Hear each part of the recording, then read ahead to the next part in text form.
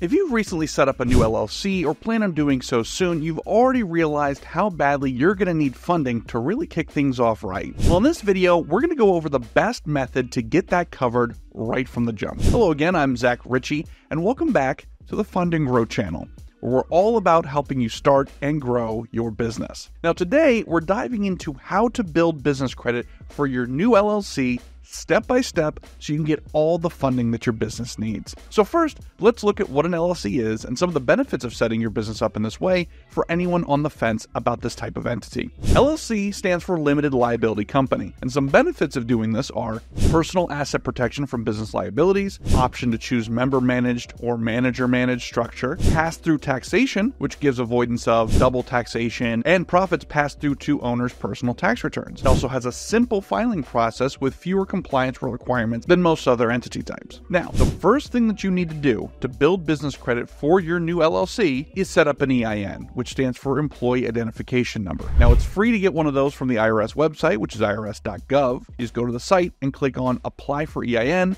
and you can do this entire thing online. Now, you're going to use this EIN in place of your social security number on business credit applications so that the accounts report to your business instead of your personal credit. Now, the second thing that you need to do is to make sure that this entity is registered with your Secretary of State. Now, you may have your LLC set up on the federal level, but in some cases, business owners who don't take the extra step to get it listed for the state that it exists in may lose their LLC by the next year's filing. So in that case, go back to the Secretary of State, get it reinstated so your LLC shows as active. No matter what state in the US that you're in, make sure that you search for your business on the Secretary of State website. If your business shows as inactive or dissolved or something along those lines, you're probably not going to be able to build business credit for it right then and there. Lenders want to make sure that your business is actually active and that it's a genuine business before they give you any money. Next, you're going to want a professional email, website, phone number, and physical address. Now, these aren't required to build your business credit, but it typically is going to help to make the process run smoothly. Make sure you research domain availability before deciding on any kind of name. And once you find a name that has domain availability, you can then create a professional email address to go with it. You don't necessarily want to just use a Gmail or Yahoo in the email address because it doesn't look professional. Now, instead, let's say my business is called Zach's Cool Stuff and my domain is zachscoolstuff.com. So the email could be info or support at zachscoolstuff.com. Also, having a physical address will help you look like an established business when you're applying for funding. Next, you're going to go over to Dun & Bradstreet and set up your DUNS number. DUNS is short for Data Universal Numbering System and is a unique nine-digit number to identify your business in that system. You can set that up at dnb.com. Now, you're not required to have one to operate a business, but you may be asked to provide this number when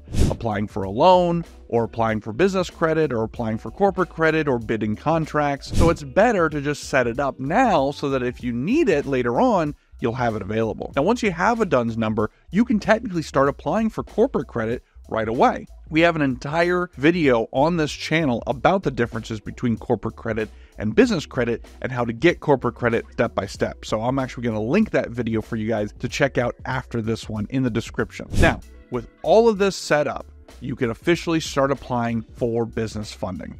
Now, one of our personal favorite methods here at Fund and Grow is business credit cards. Now, why? Well, because it's perfect for newer LLCs as well as established businesses of all kinds. Business credit cards have 0% interest for up to 22 months, and they use stated income rather than asking for W 2s, tax returns, income verification, or any other documentation like that. Now, we never recommend inflating or lying about stated income, but it is based on what you believe that your income will be. Business credit also won't appear on your personal credit reports, even if they're personally guaranteed these accounts will not be on your credit. Instead, they're going to report to the three business credit bureaus, which are Equifax Business, Experian Business, and Dun & Bradstreet. Now, these accounts are going to help build your business credit and paydex scores to qualify for greater amounts of financing in the future. But even with business credit, you can access up to $250,000 fairly quickly, even with a new LLC. We actually have an entire training on how to apply for business credit cards strategically to aggregate that kind of money. And we go through how to scan through your information to get yourself set up for maximum approvals, how to set up your entity properly to make sure your business is as bankable as possible, how to use business credit for anything that your business needs, even if the things you need don't typically accept credit cards, and so much more.